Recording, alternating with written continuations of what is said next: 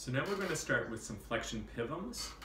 It's really important to work on uh, some setup for this beforehand. One is table height. You want to make sure the table is high enough where it's hitting you mid-thigh. Part of what happens with PPIVMs is you need to be able to shift back and forth and if the table is too high or too low, you'll end up like leaning way over your patient. So making sure where they're lined up is going to be really important. Femur length and size of the patient make a big difference. Remember, when I do the setup, I try to put a pillow underneath here at first. That way you're not getting too much side bending. You cannot have a pillow, but you just have to adjust for that side bending. Next is, and I'm just going to change my camera for a second, is setting yourself up so you don't have to do as much work. So you'll notice that I get the femurs and they're just coming over the table a little bit. A lot of times when people do PPIVMs, they're lifting and trying to control the movement.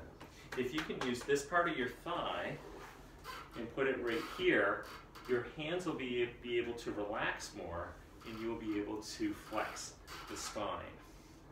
So we're going to start at L5S1 and work our way up and as we work our way up, we're going to be able to keep the leg on the table. You can get your hands this way, but as you know, you should just be shifting this way. You shouldn't be lifting things up. If you lift things up, you're bringing in too much energy and the patient is working too hard. I'm going to change the camera angle again. So here we are. When we do the flexion PPIVMs, we're feeling the interspinous space. Is there motion? Isn't there motion? We palpate down at L5S1.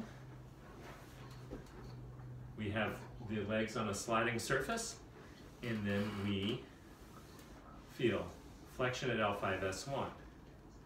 Go up to L4, L5, and back down to neutral. L3, L4. So you notice there's a little bit more flexion with each segment I go up.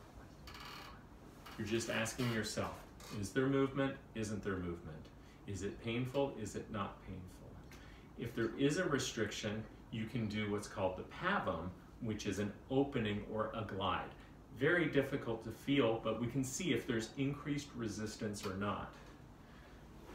So if I get at L3, L4 and it feels restricted every time I move it, then I can come in I can bracket my fingers on either side. I can fix the top, have my hand here, and produce opening. And see, do I feel that move well or not? Again, in the world of manual therapy, it is about end feel, but I don't want you to make you think that you can feel like a bee's knees bend, but there are times when you're going to be able to feel a little bit more motion than others. So with this spinal model, all we're doing is trying to fix one layer and glide the other to see what the resistance of motion is. Realizing we're going through two inches of tissue here and it's going to be very hard to feel that glide.